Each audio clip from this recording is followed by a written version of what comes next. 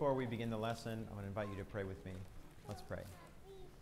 Heavenly Father, we thank you for your creation as we discuss it today. We thank you, Father, for the world that you made and making us in your image and putting us here with a purpose. We're grateful to be designed by you and made by you, knit together in our mother's wombs. Father, we're grateful to have guidance in this life and to have you as our creator so that we're not alone in the universe. And we love you, Father, and we want to extol you and praise your name as we talk about um, this topic today. In Jesus' name we pray. Amen. I was having a discussion with Thomas and Tekla uh, Krenzel this week, and uh, we were talking about evolution and some of the things that uh, they have to go through in school, some of the discussions that they have to have with other people, and I thought we would give a lesson on that. Uh, hopefully, it will strengthen our faith um, and maybe correct some misunderstandings we may have. We'll begin like this there are three assumptions that our culture makes about this topic. Number one, Darwinian evolution is scientifically established beyond reasonable doubt. That's the assumption number one.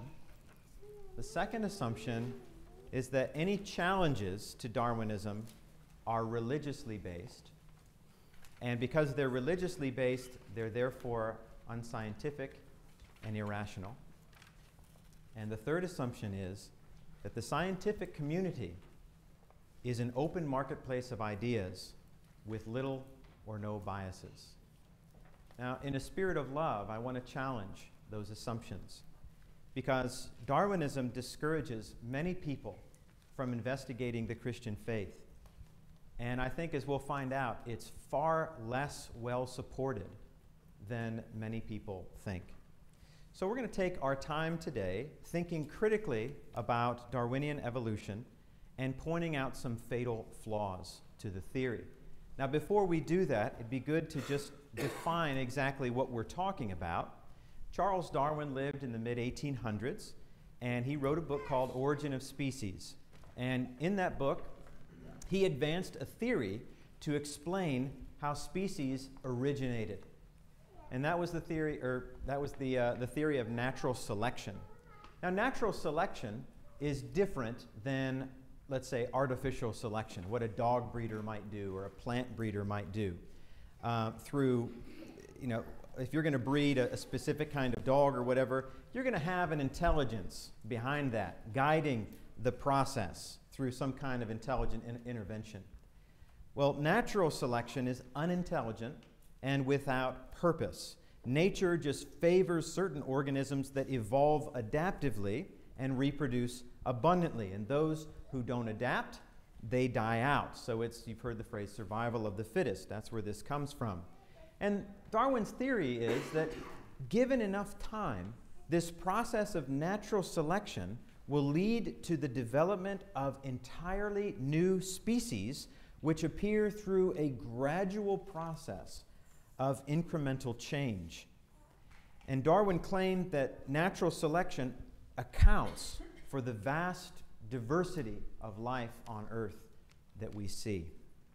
But Darwin didn't know anything about genetics and the complexity of the cell. Now, later on, uh, when genetics and molecular biology kind of advanced, people that held to Darwin's theory, they kind of filled out that theory by claiming that organisms changed into new species by what they called random genetic mutations. And after these random mutations occur, then natural selection kind of kicks in to conserve the beneficial changes in the offspring, and they pass on that, that positive trait through the generations. This is the neo Darwinian synthesis. This is the prevailing scientific, uh, you know, the prevailing worldview in the, in the scientific community today. It's what most people think. Well, what's the impact that this has had on our world? I think it's, it's, it's huge. If Darwinism is true, then the Bible can't also be true. Richard Dawkins, you've probably heard of him, contemporary uh, biologist uh, and a, a, very fierce uh, opponent of Christianity uh, and, and an atheist. He wrote a book called The Blind Watchmaker. And in that book, this is what he said about Darwinism. He said, Darwinism allows one to be, quote, an intellectually fulfilled atheist because it erases God from biology. It gives atheism a stronger case. Now, most, uh, most of the textbooks in our public school system are going to present Darwinism as the explanation for the natural world. Now, David said in Psalm 139 that he was fearfully and wonderfully made. And Paul claimed in Romans chapter 1 that God has made himself known through nature. But Darwinism says that every aspect of the development of the natural world can be explained according to time, space, and chance, given these mechanisms of random genetic mutation and natural selection. And Darwinism is far more than a biological theory. It's a way for people to make sense of life without God. So the stakes are very high when we're talking about something like this. So let's, let's move on to some icons of evolution. The case for Darwinism relies heavily on several, what I think are deceptive icons, uh, more than scientific fact. And these icons are taken for granted ideas put in a pictorial form that keep people from thinking critically about Darwinism. And I'd like to present six to you uh, just briefly here. The first one is the peppered moth. You might recall the peppered moth in your high school bi biology class. I know I do. I can see the picture on the page of my textbook. Well, Darwinists claim that natural selection occurs today in the case of this peppered moth. They call it evolution in action. And peppered moths, they come in, in a various shades of gray. And after the Industrial Revolution, over 90% of the moths near Manchester, England, a heavy, heavy, heavily industrialized city, were darker. So the point is, as the pollution darkened the trunks of these trees, the darker moths perched on the trees. They blended in better than the lighter moths. The lighter moths stood out. They became easier prey for the birds. The darker moths survived. They produced uh, the darker moths produced through this, this random genetic mutation were selected by the environment because they were safer from predation. So it was a textbook case for natural selection. Or was it? Because some of the new textbooks don't include the peppered moth. Up until the 1980s, or maybe closer to the 2000s, um, the peppered moths were the, the poster insects for natural selection. And then a couple of discrepancies emerged. Number one, the darker moths didn't replace the lighter moths in the most heavily polluted areas in England, which would have been expected by the theory. Hmm. Number two, in the rural areas of England, which were less affected by pollution, the frequency of the darker moths was higher than anticipated since the lighter moths were expected to be favored in those areas by natural selection. Okay? Number three, when pollution decreased, causing the tree trunks to become lighter, the proportion of the dark moths increased in the north of London, but then they decreased in the south of London. Again, it doesn't quite fit the theory. Then there's the difficulty that these moths don't normally rest on tree trunks. If you just observe them, why then was I showed a picture of these moths resting on tree trunks in my high school biology class? And the answer is, it later came out because the moths were placed there by hand. The moths in the photos are dead, and they were preserved, and they were stuck on the tree trunks, and then pictures were taken. But here's the rub about this. There's some just some just shoddy science going on. Is there some adaptation possibly? Possibly, right? But here's the point I'm trying to make. Even if the peppered moths fit perfectly that evolutionary agenda, a change in the color of one species of moth doesn't explain how moths evolved from a previous species, nor does it demonstrate that moths were in the process of evolving into a new species. It's still a moth. That's the first icon. The second icon, you uh, will probably recall Darwin's finches. Darwin's finches, another example of you know, supposed evolution in action. So Darwin encountered these different species of finches in the Galapagos Islands in 1835 in his travel there. And the legend is that he took the different species with their different beak sizes as a strong evidence for natural selection. Now, Darwin actually never mentions these finches in his book, Origin of Species. They only appear in his diary, one really small entry in, in his journal. But in the 1970s, Peter and Rosemary Grant and a team of scientists went to the Galapagos Islands to study these finches. And in 1977, there was a drought, and there was a significant reduction in the food available for these finches, the seeds. Uh, and the island's population of the medium ground finches declined to about 15%. And the finches that survived tended to have slightly larger bodies and larger beaks than those that didn't survive. Listen to what uh, Peter Grant has to say.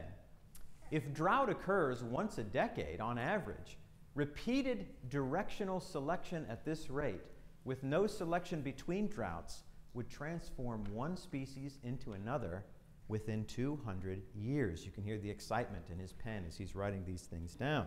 The point, if you can read between the lines there, you know, if finches continue to change at this rate, then you just wait 200 years and they're going to be something different.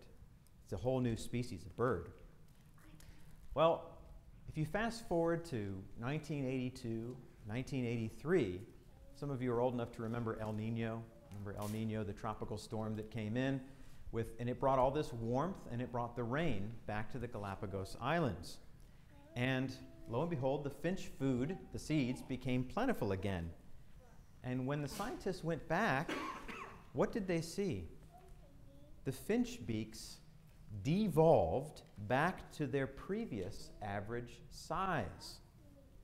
So instead of cumulative growth in finch beak size, they reverted. So these finch beak variations don't actually prove Darwin's theory. It proves the survival of you know, th- this species and those adaptive changes that they make but it doesn't prove the bigger theory. Again, you got to ask the question why don't our high school biology textbooks reflect these awkward facts? Not to sound too cynical, but it seems that it doesn't fit that pro Darwinian lean, that agenda. A third kind of silly example is embryonic development.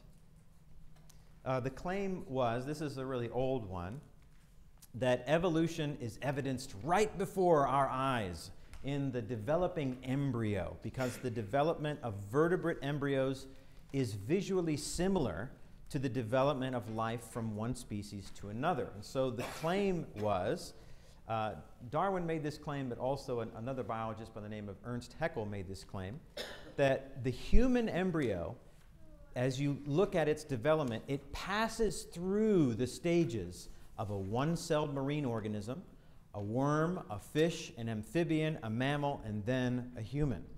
And it recapitulates in miniature the entire evolutionary journey.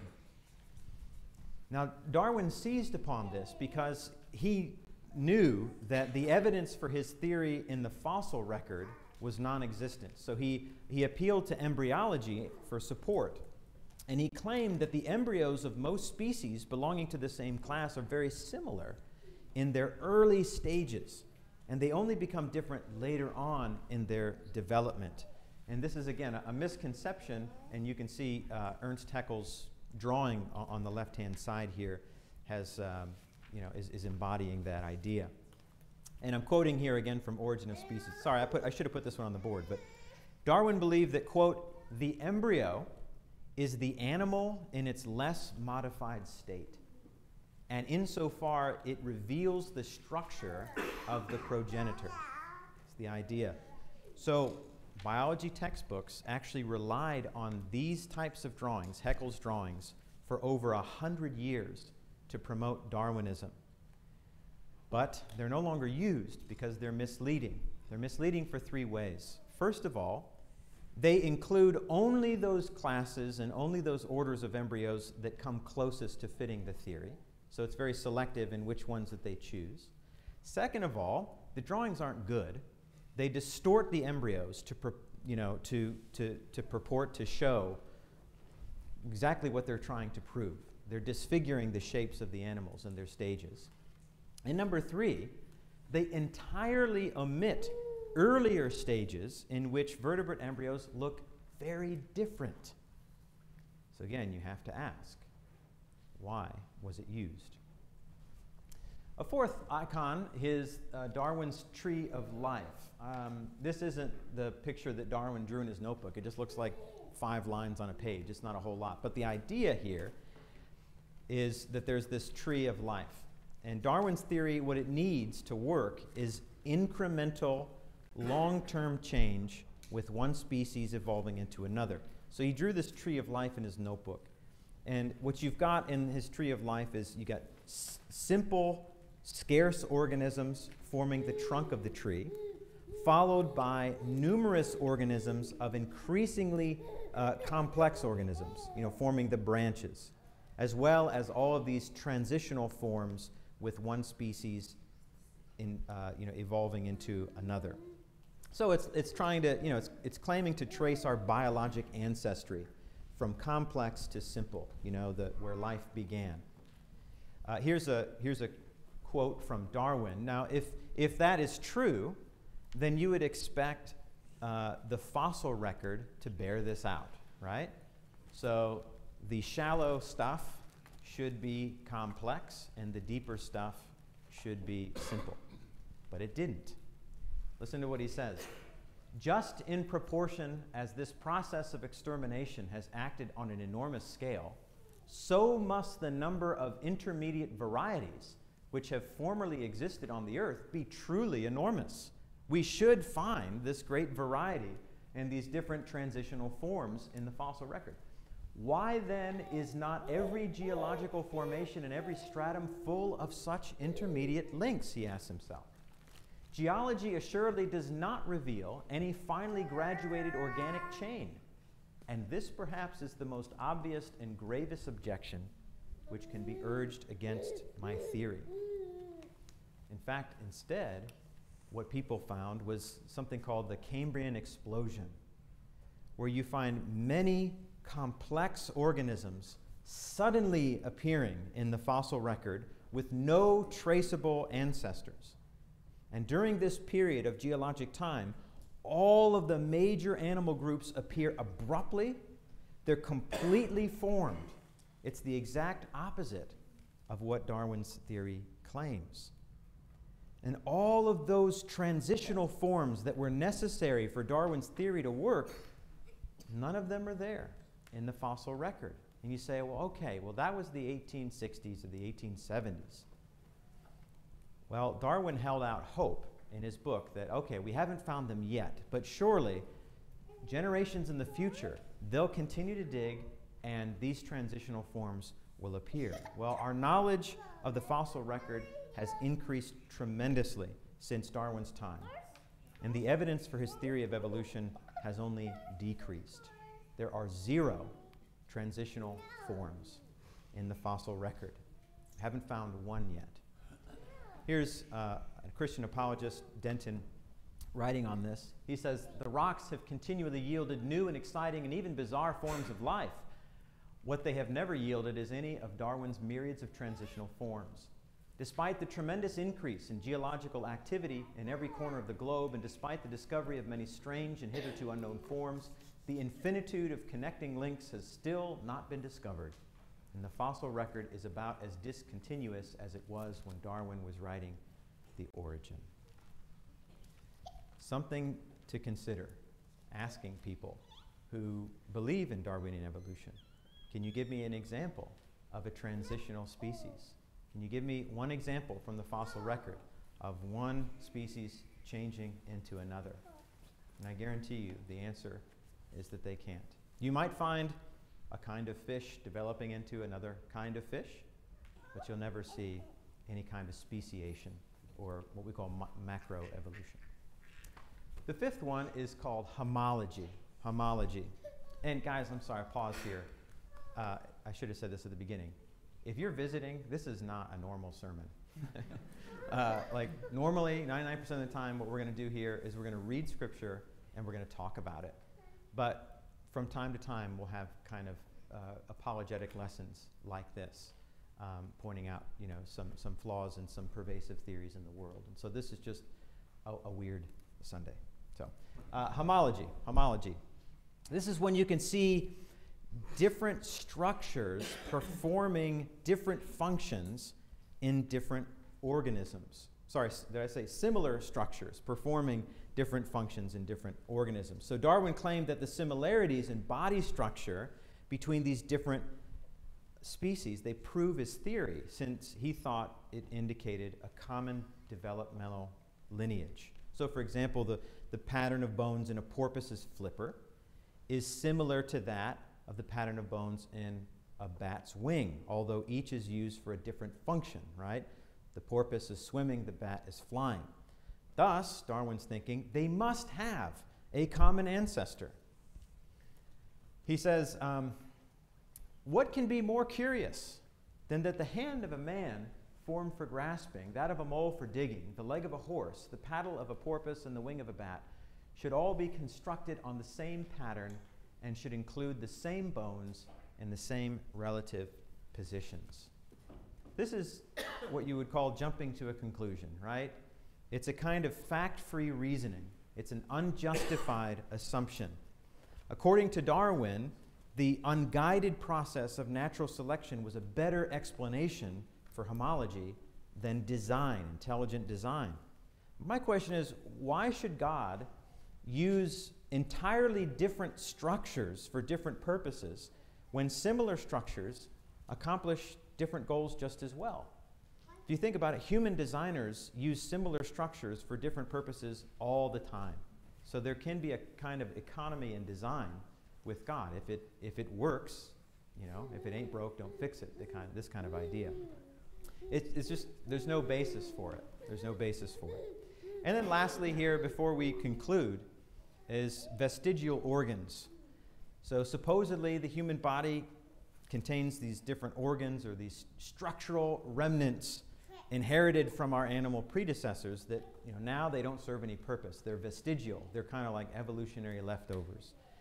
But the more people learn about the human body, the more vestigial organs are crossed off these lists. So the human coccyx, or the, is that how you say that? Tailbone?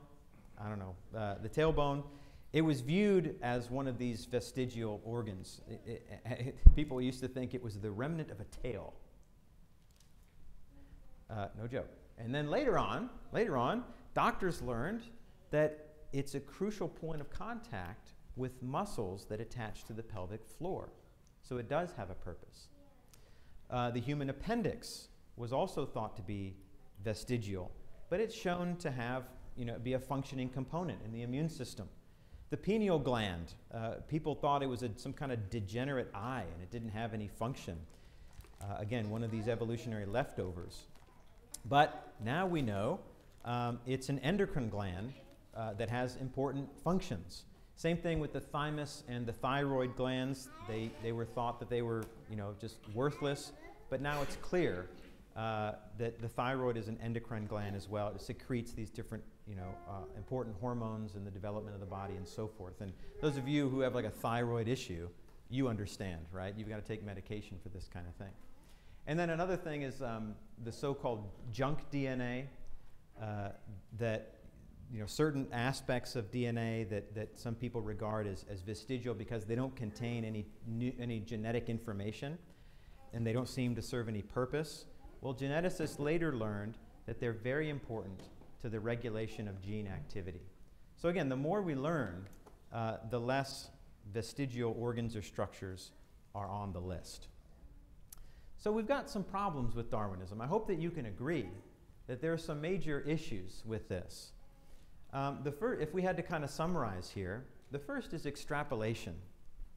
You know, most of the cases that we just mentioned, they show a reliance on extrapolation. So the examples of the, remember the moths and the finches.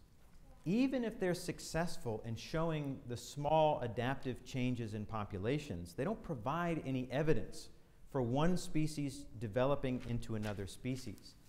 This is the difference between microevolution, small, observable, adaptive changes, which totally fits within a Genesis 1 context, and macroevolution, or speciation, one species evolving into another, which does not fit within the Genesis 1 narrative. Uh, I again, I should have put this on the board. Sorry. Norman Macbeth, another uh, Christian apologist, this is what he had to say. If you observe the growth of a baby during its first months, extrapolation into the future will show that the child will be eight feet tall when he is six years old. Can you see that? Those of you who have children have seen you know, these kind of images of, of infants growing. Therefore, all statisticians recommend caution in extrapolation. Darwin, however, plunged in with no caution at all. So I hope you can see that it's not fair to see that cumulative, linear kind of growth and say, well, aha, because they changed this much now, surely there'll be a new species a couple of hundred years in the future. The second thing is mutation. Uh, the second problem is mutation. Darwin's theory hinges upon positive genetic mutations being carried over into the next generation. But mutations occur seemingly incoherently, like without any kind of rhyme or reason. And they're not ever complementary to one another, nor are they cumulative in the next generation. Mutations only modify what currently exists a mutation has never added any new genetic information to an organism, let alone a new body part. And let's not forget the fact that most mutations are detrimental to the organism. If, so, if an animal or something is born with a genetic mutation, it probably won't survive, right? Because it's outside of the range of survivability about how God designed it. So they don't produce evolution. So natural selection far from generating these new organisms, has this kind of stabilizing effect. It brings populations back to the norm needed for survival. Again, think of those beaks of those finches. They got bigger when there were less food, and then they got smaller again. They reverted back to the average when food was plentiful again. And again, when we read Genesis chapter 1, God tells us there that He created each animal according to its kind. And species can change and adapt within that limited range, but they always will revert back to the average for survival. Again, that's consistent with Genesis chapter 1. And then the last thing I want to mention here is presuppositions. Darwinian evolution has become so embedded and accepted in our culture that anyone who opposes it is dismissed as a moron. And I say this because I used to be one of these people. Anyone who said that evolution wasn't real, I just looked at them blankly like, how could you? This is an accepted fact, right? This is what everyone knows this, right? All the smart people in my life believe this. Why don't you believe it?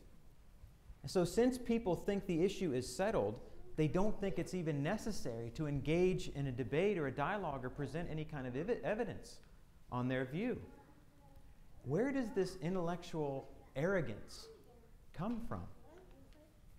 Well, by and large, the scientific community holds a prior commitment to absolute materialism, a refusal to believe in anything outside of the natural or the material world, and any reason for life that might be supernatural or immaterial, something like intelligent design, Genesis chapter 1, is completely thrown out.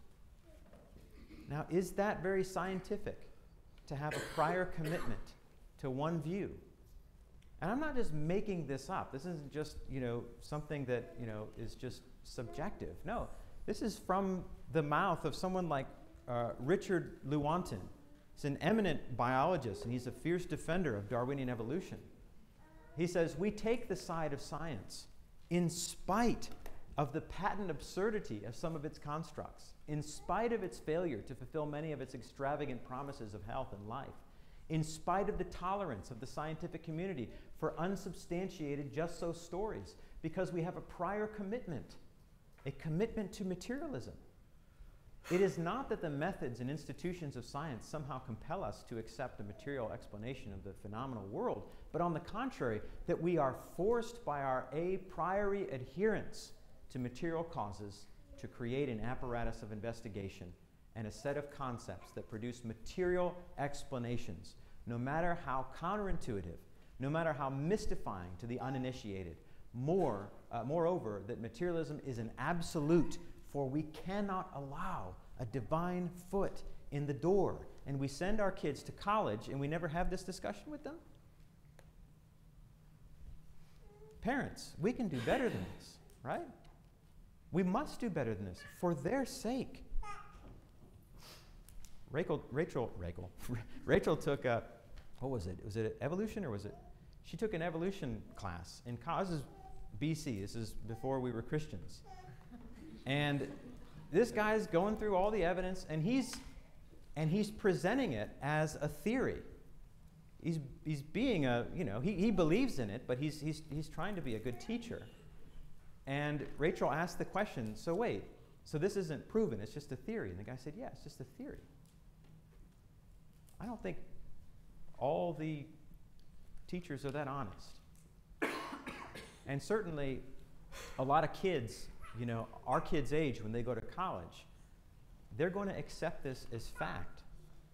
Are we going to send them off out into the world without any kind of help, without any kind of support? So we need to have lessons like these. We need to have conversations at the dinner table about these kinds of things. And we need to understand the facts about this.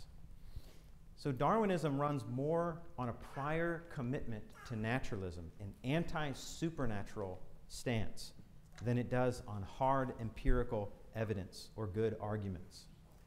I don't believe it. And these icons of evolution are more like idols that hinder a sober investigation of truth.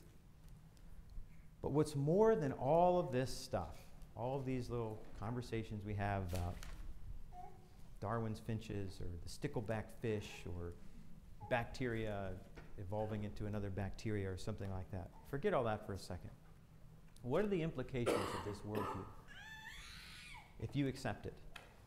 The Bible claims that our world is designed by a supernatural mind whose fingerprints are scientifically observable. Darwinism presents a world alone, unguided by God According to Darwinism, we are the result of time and matter and chance. You are a cosmic accident. You have no purpose. You have no morality. You have no soul. And you have no hope beyond this life. So, not only do we have problems with the scientific theory, but we have existential problems with holding that view. How we think of ourselves, how we think about this world, it should it, shapes the way we, we, we treat other people. It shapes the, the way that we, we make choices in life. So, this kind of foundational stuff is important because we're building our lives on this worldview. So, which one would you rather have? Would you rather have the one that's unsubstantiated by any kind of scientific evidence that leaves you with no hope? Or, I know we didn't present a positive case for uh, intelligent design, but we could do that on a future occasion and we can see the evidence that it bears there. And it's a message with hope. It's a message that can really help you thrive as a human being as God intended. So, where does that leave us, guys? Uh, what does Scripture say? Well, God created the universe out of nothing. Genesis 1 says that He created each kind of creature spe- specially, not through this long naturalistic process of macroevolution. And species, they may change, they may adapt to their environment in various limited ways. We can see that given the natures that God has given them. God created humans uniquely in His image, not through a long process of naturalistic evolution. Therefore, we are not alone. We have purpose, we have meaning. We're designed and we are loved by God, and we can move forward in hope in this life no matter what happens. I hope that you share that worldview, that biblical worldview. And I hope that that encourages you as you live your life and as you have conversations with your neighbors about this kind of thing. And most especially, I hope that you share this with your children and have those discussions. Look, another thing, sorry, I'm long on time here, but another thing, we don't want to make the same mistakes that, you know, Darwinists make about shoddy science. There are lots of terrible arguments for intelligent design. We don't want to make those arguments, but there are plenty of good ones too. So let's equip our young people to go out into the world and to help people get closer to God. We're going to sing uh, a song in just a moment, and I want to invite anyone whose life isn't right with God. If you need the prayers of this church, or if you uh, even need to be baptized into Christ today, we can assist you. Let's stand up and sing together.